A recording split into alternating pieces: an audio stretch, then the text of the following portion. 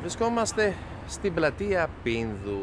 Μια πλατεία πραγματικά που γίνεται κάθε μέρα χαμός με τη στάθμευση.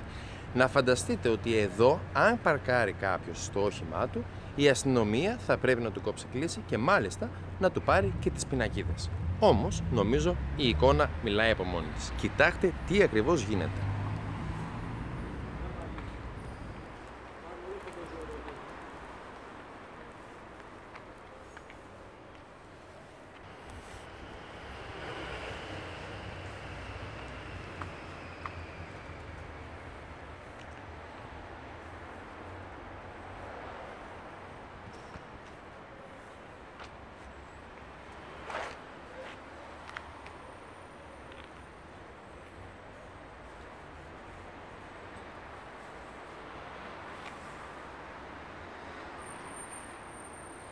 Η εικόνα που βλέπετε σίγουρα δεν είναι της στιγμής, αλλά πραγματικά το φαινόμενο αυτό το βλέπει κανείς κάθε μέρα.